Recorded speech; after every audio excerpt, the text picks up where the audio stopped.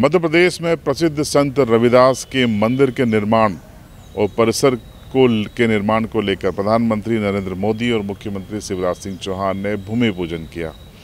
एक भव्य कार्यक्रम आयोजित किया गया, जिसमें भूमि पूजन किया। इस भूमि पूजन के बाद प्रधानमंत्री ने कहा कि वो इसका लोकार्पण करने भी आएँगे। इस तस्वीर में हम आपको वो एक ग्राफिक्स बता रहे हैं, जिसके ज़रिए आप समझिए कि संत रविदास के का जो मंदिर है और जो कैंपस है, वो किस तरीके का दिखेगा? और बाद में देखिए कि प्रधानमंत्री और मुख्यमंत्री ने इस अवसर पर क्या कहा।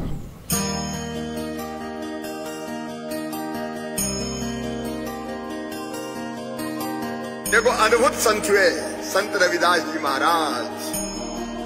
गुरु जी तुम चंदन हम पानी। जाके अंग अंग बास समानी। प्रभु जी तुम घनवन हम मोरा।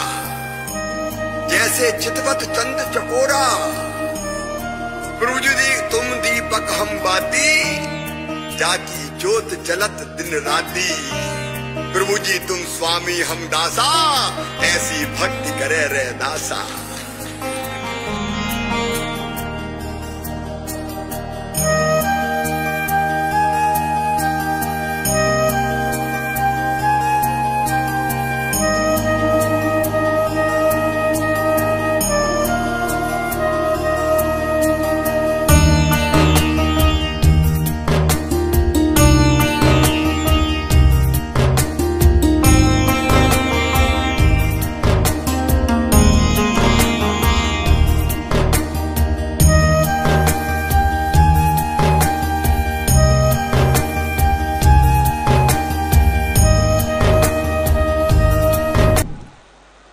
भाइयों और बहनों, संत रविदास स्मारक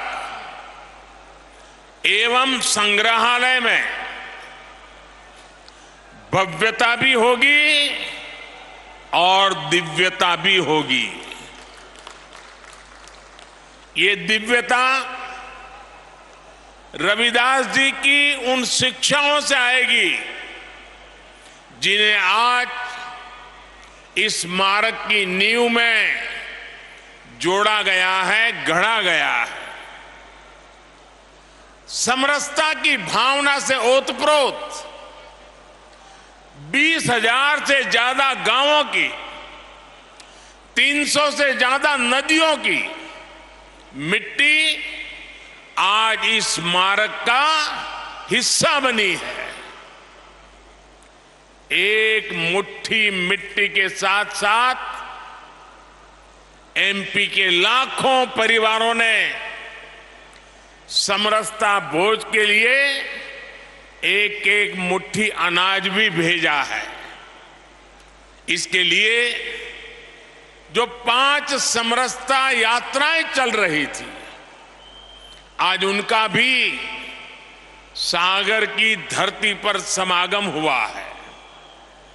और मैं मानता हूँ कि ये समरसता यात्राएँ यहाँ खत्म नहीं हुई हैं, बल्कि यहाँ से सामाजिक समरसता के एक नए युग की शुरुआत हुई है।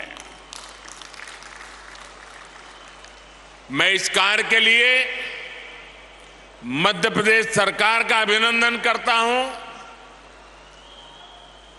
मुख्यमंत्री भाई शिवराज जी का अभिनंदन करता हूँ और आप सभी को बधाई देता हूँ।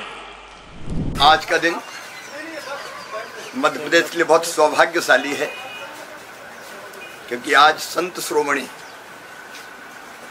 रविदास जी महाराज के भव्य, दिव्य और अलौकिक मंदिर के निर्माण के लिए भूमि पूजन का काम संपन्न हो रहा है। सौभाग्यशाली इसलिए भी है कि मंदिर के भूमि पूजन के कार्यक्रम के लिए भारत के हमारे प्रिय यशस्वी प्रधानमंत्री श्रीमान नरेंद्र मोदी जी पधार रहे हैं। संत रविदास जी ने जो कहा, वो चरितार्थ करने का काम भारतीय जनता पार्टी की सरकारें कर रही हैं। आज हमारी पाँच यात्राएँ, जो बीस हज़ार गाँव से होकर गुजरी हैं।